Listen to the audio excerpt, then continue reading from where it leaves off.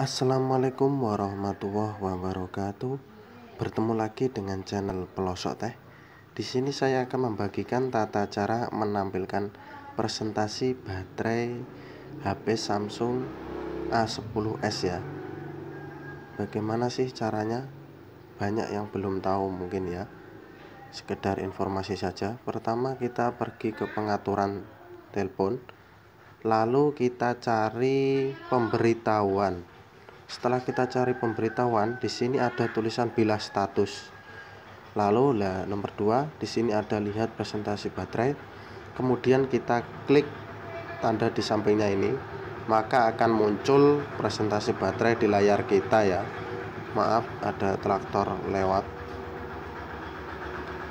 Setelah kita klik maka akan muncul presentasi dari baterai kita ya.